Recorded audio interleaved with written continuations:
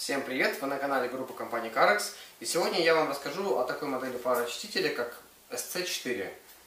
В линейке их много, а, есть модели начального уровня ручные, есть аппарат SC2, который в принципе неплохо для дома, но э, имеет ряд, а, скажем, недостатков. Так вот, э, модель ST4 это первый парогенератор в линейке Керхер, который имеет э, полноценный долив воды и имеет отдельный резервуар для ее долива.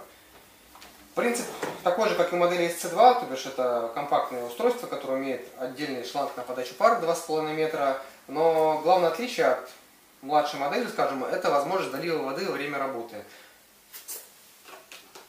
Воду вы наливаете здесь уже не непосредственно в котел, а льете в съемный резервуар. Воды сюда помещается 800 мл. А в чем это преимущество? Да в том, что вы не ограничены во времени работы. Если вам, к примеру, надо сделать какую-то глобальную уборку, вы не ограничены Э, в литре воды, к примеру, а изначально вы имеете уже литр 300 воды в аппарате и э, открытый резервуар, в который вы можете подливать воду во время работы, не выключая, не делая паузу, э, не тратя ваше время. Здесь уже есть отдельные клавиши включения и выключения аппарата, есть два индикатора. Зеленый говорит о том, что аппарат готов к работе, как в данном случае котел нагрет. И вот красный в данном случае индикатор горит, сообщает нам о том, что необходимо долить воды.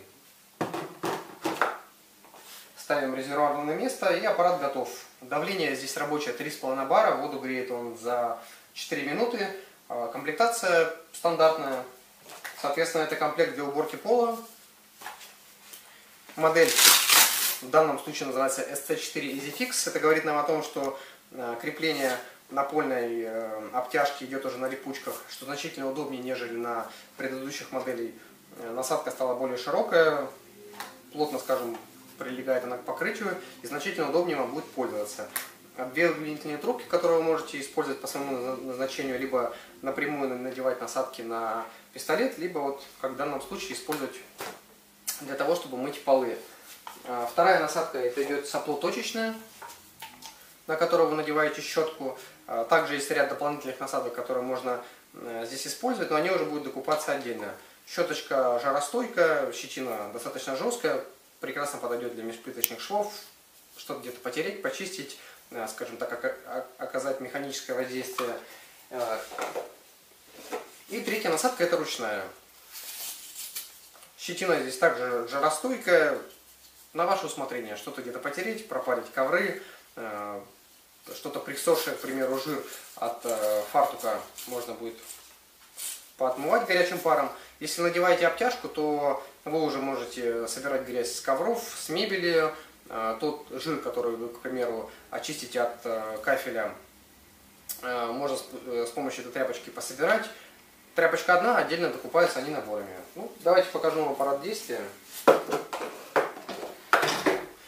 Я считаю, все-таки, если аппарат рассматриваете для комплексной уборки дома, то как минимум надо рассматривать модель SC2, но все-таки SC4, как я уже говорил ранее, она будет значительно удобнее в работе, э, в том плане, что не надо думать, когда у вас закончится вода.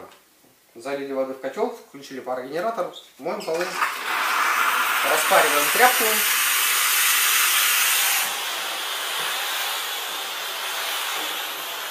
Протираем. Здесь есть регулятор подачи пара, максимальное значение, среднее значение и так называемая защита от детей. Но защита, скажем, не только от детей. Крайне рекомендуем всегда ее ставить, если вы меняете насадки, дабы случайно не нажать на клавишу подачи пара и не ошпариться. Температура в самом котле достигает порядка 140 градусов. А, но в пятне контакта, в зависимости от насадок, она будет варьироваться там, в районе 100 градусов. Надеваем щеточку. Чистим межплиточные швы.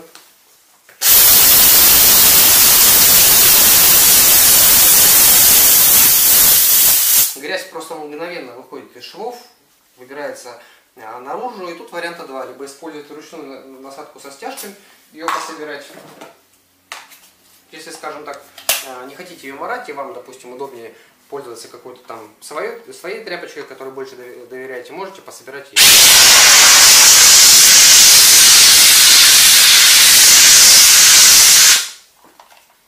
Тряпки потом можно либо мыть под краном теплой водой, но, конечно, для большего эффекта необходимо стирать в машинке. Единственное, что можно отнести к расходникам данного аппарата, это антинагипин. Если вы используете аппарат в регионе с жесткой водой, то производитель также рекомендует э, смешивать ее 50 на 50 с дистиллированной водой.